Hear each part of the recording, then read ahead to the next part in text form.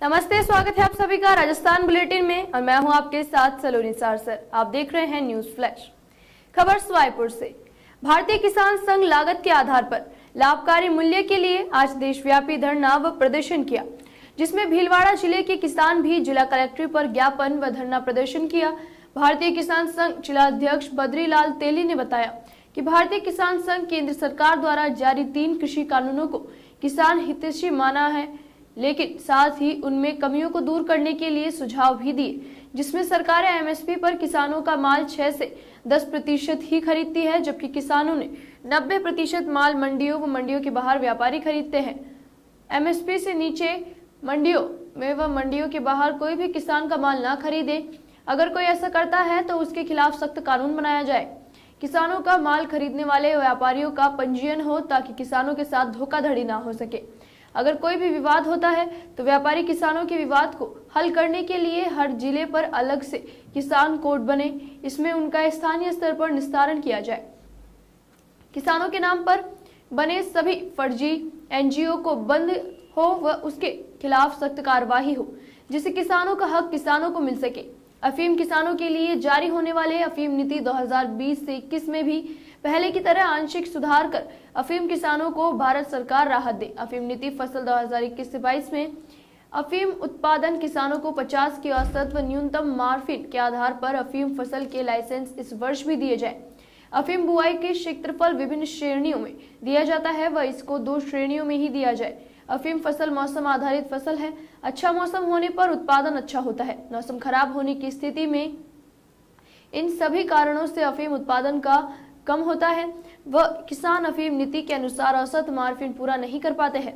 अतः तीन वर्ष की औसत को आधार मानकर लाइसेंस दिया जाए व इसका स्थायी आदेश होना चाहिए। मुखिया लंबरदार, हर एक दो वर्ष में बदलने की विभाग की प्रक्रिया है, पर जमीनी स्तर पर ऐसा नहीं है। बहुत से गाँवों में आठ से दस वर्षों से अन्य नामों के सहारे वही के वही बने हुए हैं। उच्च स्तरीय जाँच करवाकर इन एवजी मुखियाओं को, जो आठ से दस साल से जमे हुए हैं, उनको तुरंत प्रभाव से हटाया जाए व लंबरदार चयन में विभाग विंदो को करता है। इस पर विचार किया जाए, जिस दौरान प्रांत उपाध्यक्ष बद्रीलाल जाट, संभाग सहमंत्री सत्यनारायण जाट, जिला युवा प्रमुख राम कुमार जाट, पर्यावरण प्रमुख भैरुदास वैष्णव सहित सैकड़ों किसान उपस्थित थे। भारत सरकार को धरना प्रदर्शन कर ज्ञापन भेजा जिला कलेक्टर भिलवाड़ा के मार्फत जिसमें मांग की गई कि अफीम किसानों को न्यूनतम औसत व कम से कम मार्किंग के आधार पर आगामी फ़सल वर्ष में पट्टे जारी किए जाए। और दूसरा, मांग किया सरकार की सीपीएस पद्धति लागू करने की योजना है। इससे अफीम किसानों को नुकसान होने की संभावना है। अतः भारत सरकार को अधिकतम बुआई क्षेत्र के पट्टे जारी करने चाहिए। अगर अपील में सीपीएस पद्धति लागू होती तो। और दूसरा, प्रधानमंत्री भारत सरकार को जिला कलेक्टर भिलवाड़ा के माध्यम से आज ज्ञापन भेजा, जिसमें मांग की गई कि सरकार न्यूनतम समर्थन मूल्य किसानों को हर वर्ष जारी करती है, जिसमें सरकार या उसकी एजेंसियाँ छः से दस प्रतिशत से अधिक नहीं खरीद पाती है।